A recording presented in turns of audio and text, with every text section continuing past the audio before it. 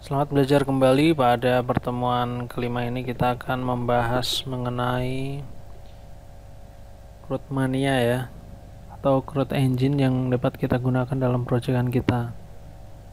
Nanti akan saya jelaskan bagaimana cara authentication-nya, mengelola akses, sampai pada pembuatan CRUD pembuatan CRUD semua tabel dalam satu aksi. Ya kita masuk saja ke Trello kita buka card kita ya di coordinator. Di sini ada topik bahasan jadi 1 sampai 5 kita buka yang day 5 karena ini membahas tentang pertemuan kelima. Ada akses login authentication dan membuat sistem informasi menggunakan CCM CI Crowd Mania Oke di situ disediakan link download klik saja dan akan di direct ke halaman download. Anda bisa mengklik kanan kemudian download atau langsung di bar sisi kanan pojok juga ada menu download. Nah ini klik kanan kemudian pilih download. Tunggu sampai download selesai ya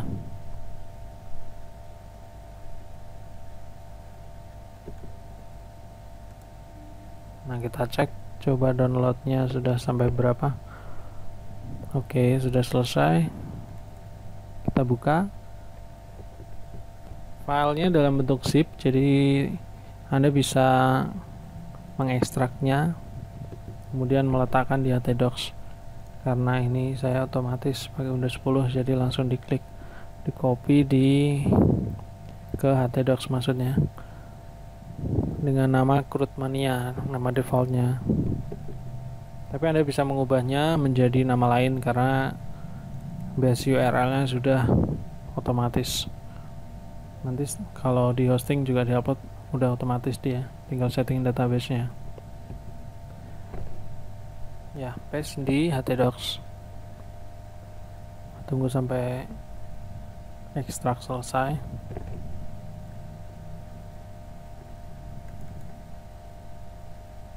ya extract udah selesai. Folder bernama crud underscore mania ya. Ini adalah file-file yang dibutuhkan di crud mania. Dan di folder database ini ada database yang kita gunakan sebagai engine kita. Di database ini ada satu tabel yaitu tabel user. Itu adalah core inti dari CRUD engine ini karena user itu ada hak aksesnya di sana. Jadi nanti kita bisa membuat tabel lain bisa disesuaikan. Nah ini bikin database terlebih dahulu namanya Mania kita klik Mania nya import database seperti biasa. Import di bagian folder database seperti yang saya tunjukkan tadi. Ya docs di Rootmania ya. Oke send kirim. Selamat. Sekarang engine sudah siap digunakan. Nah, kita buka dulu ya browser ininya apa open foldernya project kita. Biar lebih enak cara pengoperasiannya cara penggunaannya. Open folder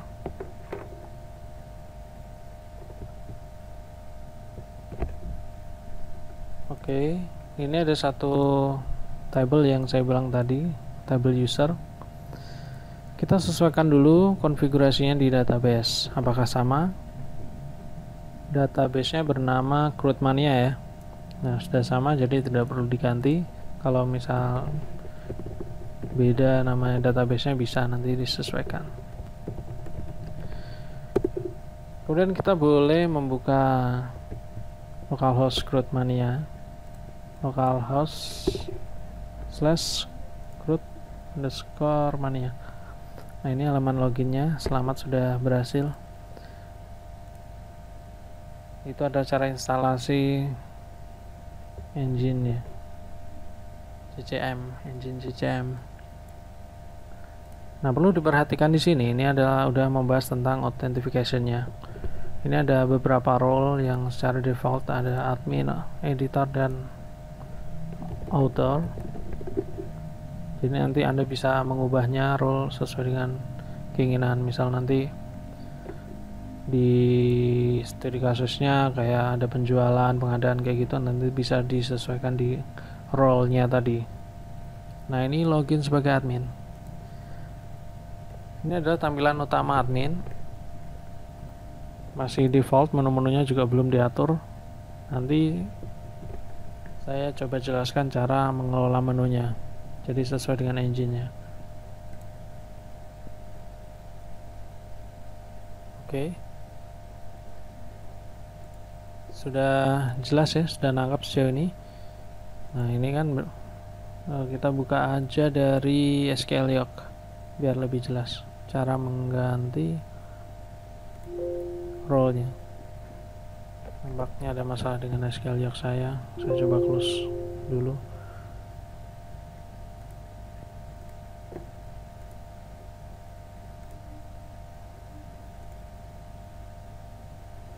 Nah ini sangat penting sekali ya authentication. Jadi kita bisa menentukan siapa saja yang akses yang ada di aplikasi kita nah ini ada row defaultnya. Tadi kan admin editor dan author. Kita bisa menggantinya misalnya editor. Editor kita replace. Oh kita buat semacam company profile ya nanti. Nah ini ada admin sama operator saja contohnya. Nanti bisa dikembangkan sendiri bisa menambah operatornya nambah rollnya maksudnya. Oke tabel sudah berhasil di alter. Kemudian apa sih yang harus kita lakukan? Nah untuk membuat CRUD tentu saja kita harus menyiapkan databasenya. Di sini saya membuat database manual supaya memberi contoh nanti bagaimana cara pembuatan databasenya. Bisa saja teman-teman e, mengimpor hasil project kalian ke database CrowdMania cuma saya lebih merekomendasikan membuat yang baru karena ada aturan-aturan yang harus dicermati pada pembuatan CrowdMania ini. Nah di CrowdMania ini tentu saja di kolom pertama itu harus ID syaratnya yang pertama ID tipe datanya pasti harus integer dan primary key not null sama auto increment ya itu harus ada itu harus ada di setiap tabel. Jadi nanti misal kok ada kode kan biasanya ada kode pengadaan misal. Jadi nanti bikin bikin dulu ID tipe datanya integer kan. Baru setelah itu yang bawahnya kode pengadaan tipenya varchar seperti itu. Jadi tidak bisa langsung tidak auto increment itu tidak bisa. Jadi pasti auto increment. Soalnya dia mengindeks sistemnya mengindeks jadi kayak edit data dia kan melihatnya dari ID-nya index ID atau incrementnya itu. Jadi dia misal menambah data kan otomatis recordnya bertambah itu yang dihitung. Juga di delete juga pengaruh di sana. Nah kalau delete kan auto increment dia ngambil indeks di ID-nya itu. Walaupun bisa saja kita tidak menggunakan auto increment tapi itu cara crud manual. Di sini kita menggunakan engine sebenarnya sama saja sih. Cuma keuntungannya menggunakan engine ini tentu saja lebih jauh lebih cepat. Kita bisa menghemat banyak waktu. Ibaratkan database tabel yang kita punya sangat banyak. Nah ini kita sudah membuat tabel kontak dan tabel about.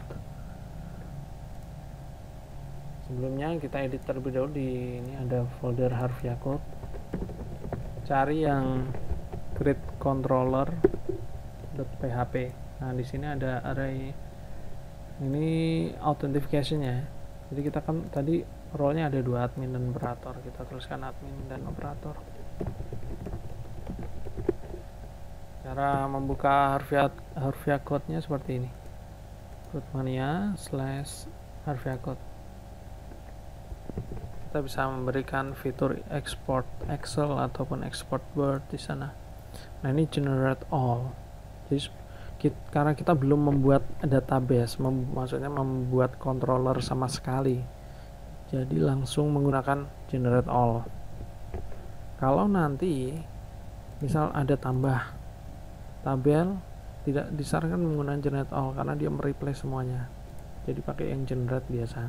Nanti coba saya peragakan ya nah ini sudah dibuat nih controller kontak. Jadi dia di generate otomatis growthnya jadi kita tidak perlu lagi menuliskan coding secara manual.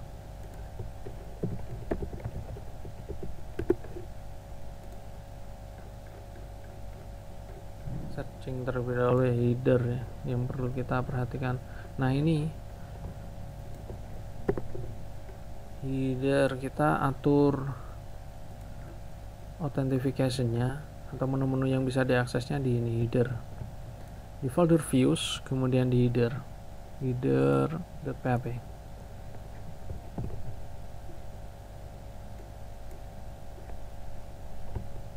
coba kita lihat nah ini identitasnya di sini identifikasinya jadi di bawah hmm, di bawah slash slash dashboard penutup list dashboard. Nah itu kita hapus saja lah itu menu-menu banyak gitu. Nanti anda bisa melihat menu pengaturan menu admin LTE di dokumentasi admin LTE saja. Nah ini saya akan memberi contoh nih. Nah, aksesnya ada session ya session user data role sama dengan admin. Nah yang bisa dikelola admin tuh fitur apa saja sih?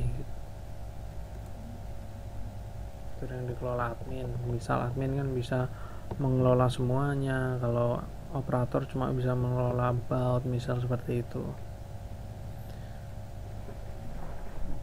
apa ini hmm, tadi saya coba hapus saja yang ini menu-menunya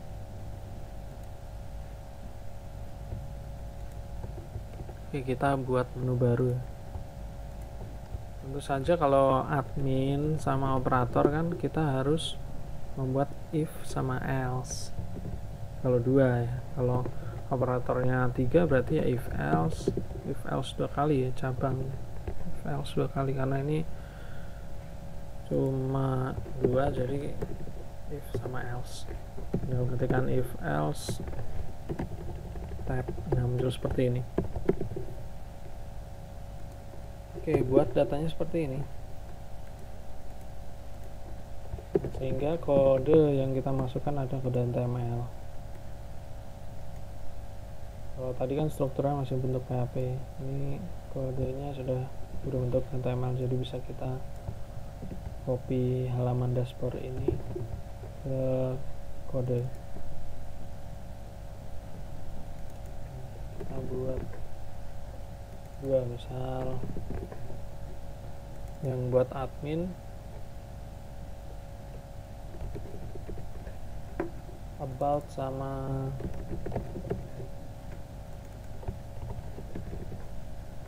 about sama kontak ya ini misal kita tuliskan terlebih dahulu about ini kita tuliskan kontak. Nah itu adalah menunya. Jadi untuk ngelinknya tentu saja sesuai dengan nama controllernya.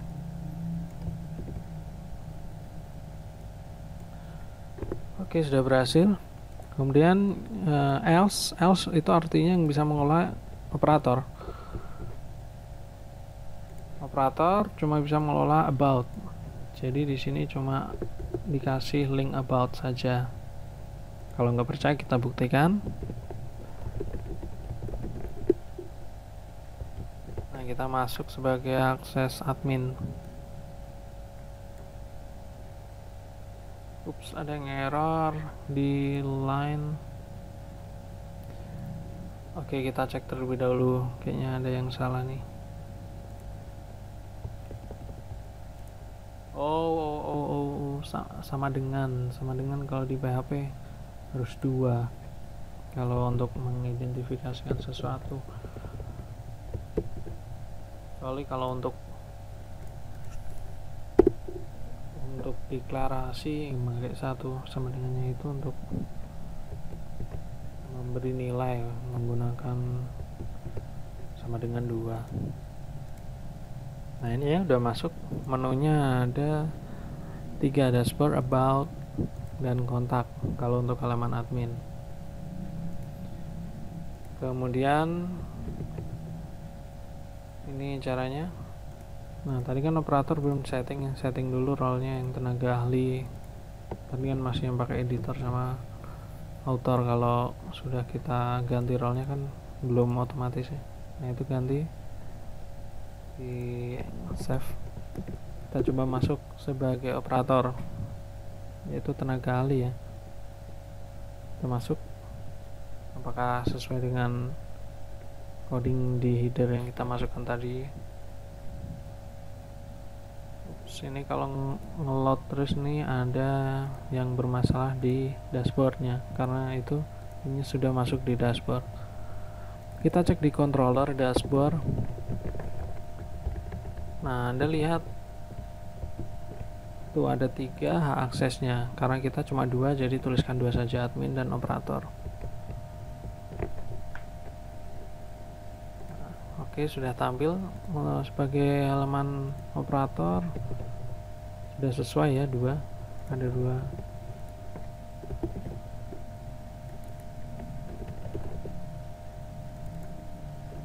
Nah ini misal kita tambah lagi tiga user ya user belum ada tadi. Untuk perat untuk adminnya maksudnya.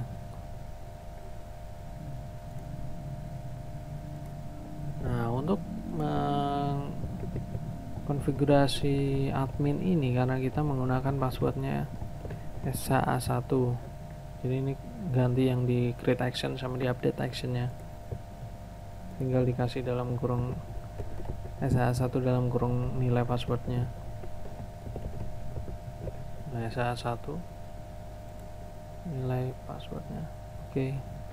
jadi setiap kali kita update atau mengcreate password secara otomatis sudah di generate ke SH1 itu poinnya.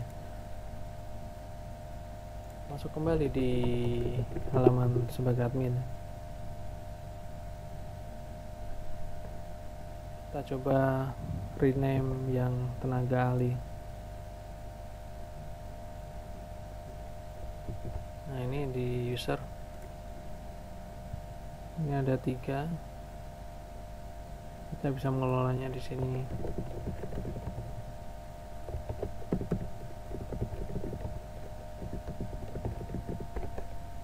Ini user. Passwordnya bisa kita ketikkan biasa nanti otomatis akan di generate oleh SH1 karena tadi kita sudah menginputkan di controller. Oops required required. Jadi harus diisi semua.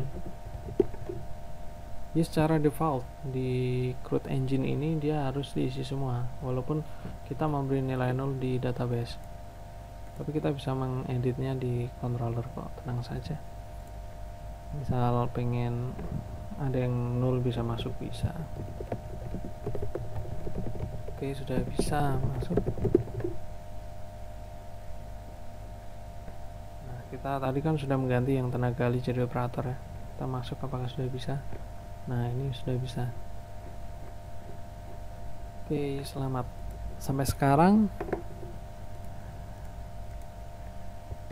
mungkin kalau terlalu cepat video ini bisa di pause terlebih dahulu dan diikutin langkah-langkahnya step by step.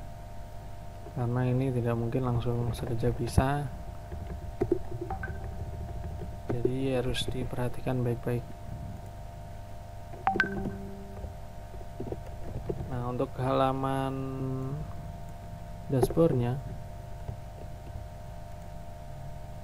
di halaman dashboard itu kan ada empat menu ya atau empat kotak kita bisa mengisikan kayak jumlah usernya ada berapa sih jumlah settingnya ada berapa jumlah aboutnya ada berapa kontaknya ada berapa itu fungsinya monitoring di situ. Oke kita coba ketik coding yang terlebih dahulu memanggil get user get about. Ada empat ya tadi yang di yang di halaman utama. Jadi sepertinya kita kurang satu tabel ini tapi opsional sih misal cuma tiga juga bisa aja ngambil tiga. Cuma nanti ada yang kosong satu mending kita isi semua. Karena database tabel kan ada banyak kan. Jadi kita bisa memilih-milih yang empat itu tabel mana aja. Nah ini kita bisa masukkan bikin tabel baru. Misal setting. Itu buat contoh saja karena biar tidak kosong yang satunya yang ada empat menu itu loh yang di dashboard. Ya sekali lagi saya menghimbau ya kalau kayaknya terlalu cepat video ini bisa di pause terlebih dahulu. Karena ini sangat esensi sekali. Kelihatannya sih lama cara konfigurasinya. Cuma kalau terbiasa cepat cepat banget ini sangat bermanfaat karena tadi kan saya jelaskan detail-detailnya. Jadi kalau sudah kebiasa ya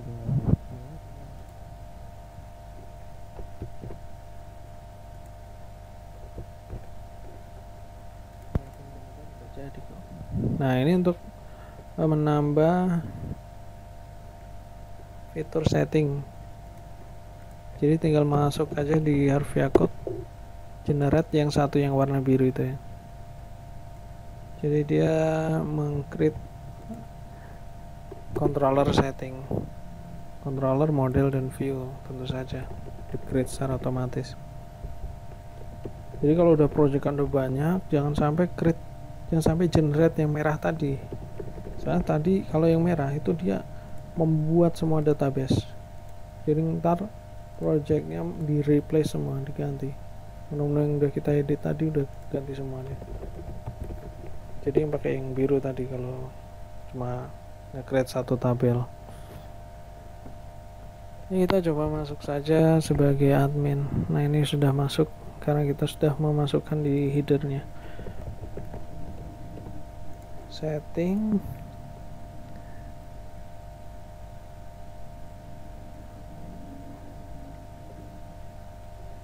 Oke, sudah berhasil. Nah, sekarang step yang terakhir membuat monitoring di dashboardnya ya. Nah, ini kan kita sudah buat nih. Tinggal terakhir setting yang belum.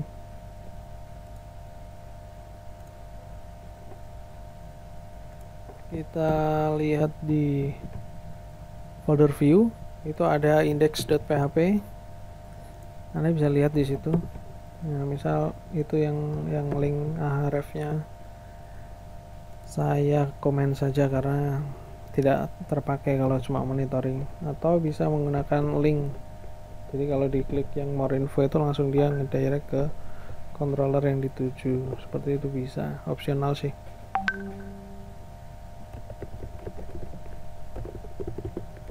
Oke ketikan seperti ini ya. Nama tabelnya nama tabelnya apa? Setting. Kemudian 6 rows. 6 rows itu untuk menghitung jumlahnya. Jadi nggak perlu lagi kita setting database nya kayak select count nama fieldnya kayak gitu nggak perlu. Langsung 6 rows saja dia menghitung semua recordnya. Ini ada user 6 rows about 6 rows yang terakhir ada kontak 6 rows gimana sejauh ini? Apa ada kesulitan? Kalau kesulitan nanti boleh di komen di day 5 ya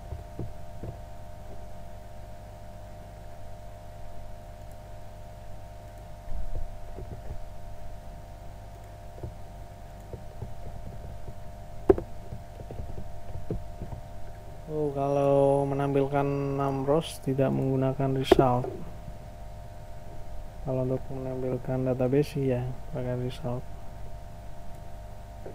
Ups, ada yang error nih. Oh, itu di atas tuh. Nggak ada pembuka komen. Di header. Oh, no no, di index.php.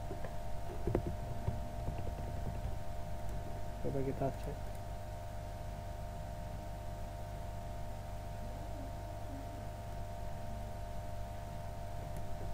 nah sudah berhasil. Nah ini ada tampilan dashboardnya. Oh tapi itu kok menunya gitu. Copyrightnya di atas. Coba setting tuh ada apa yang salah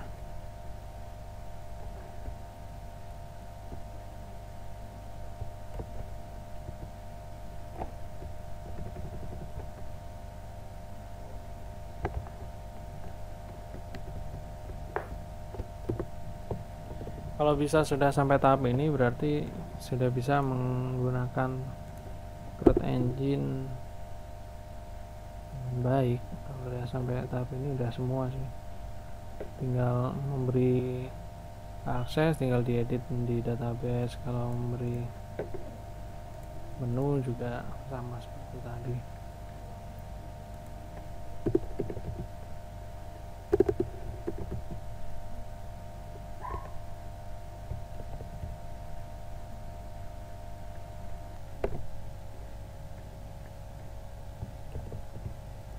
sepertinya sudah cukup baik. Save saja. Oke sudah benar.